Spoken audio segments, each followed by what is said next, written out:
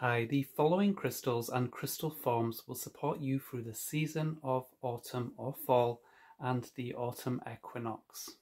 And these magical stones will help you connect with the energy of the season so that you can work with the current cycles of nature. Hi, I'm Ethan Lazzerini and I am the author of three crystal healing books including the Amazon bestseller Crystal Grids Power.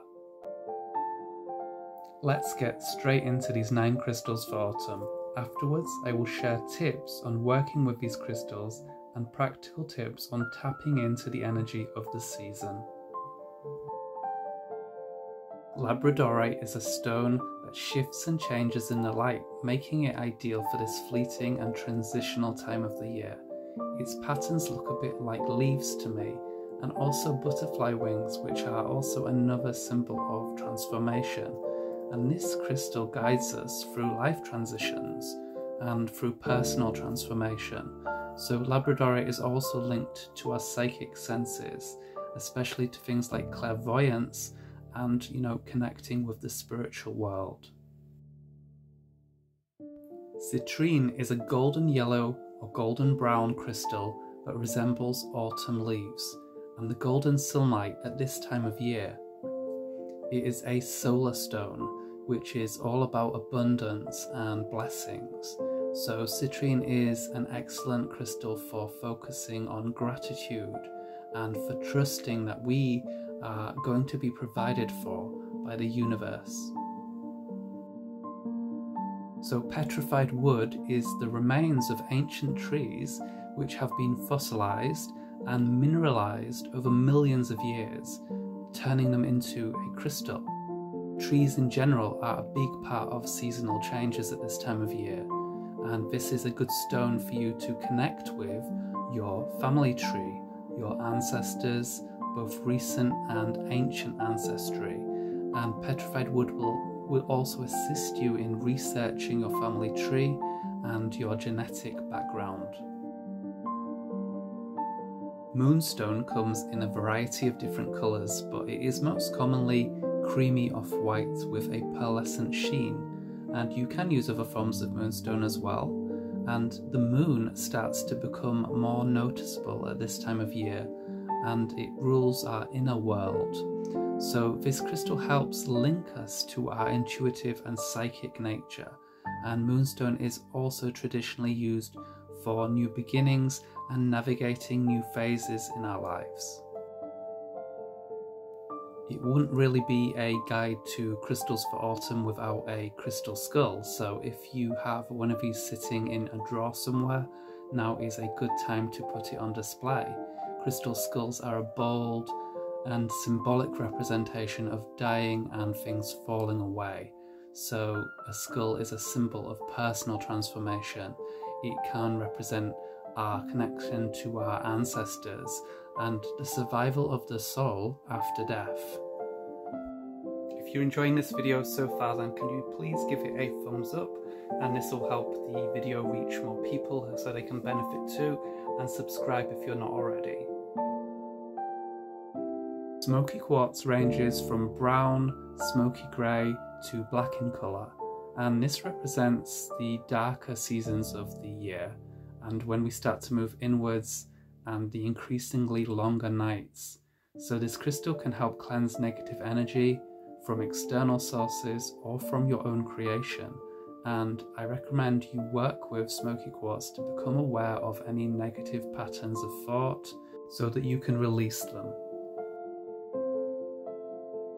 This is also known as shamanic dream quartz, lodolite, or lodolite quartz and the British royal magician and astrologer John Dee is rumoured to have had a crystal ball made of this stone.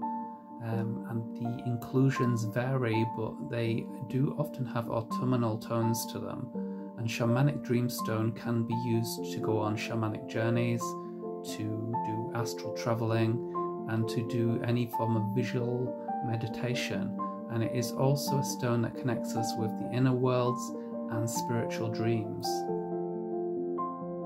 Black obsidian is a naturally formed volcanic glass, and historically it has been used for scrying and connecting with the spirit world. And this jet black stone is ideal for connecting with the unseen world and doing shadow work, and it's useful for psychic protection. Black obsidian is one of the best stones for releasing toxic or negative connections to people, uh, situations, and energy that no longer serves you. This metallic crystal seems to represent the golden colours of nature and sunlight at this time of the year, so you can work with pyrite to honestly review your finances and your business. It taps you into a prosperity mindset and encourages us to take action and to use strategy to increase our income. So look at what's working for you and increase this. This golden stone is an ally for success.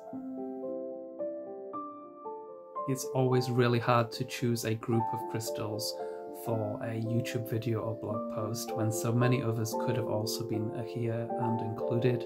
So other noteworthy crystals I want to bring up are carnelian, bronzite, garnet, and hematoid quartz.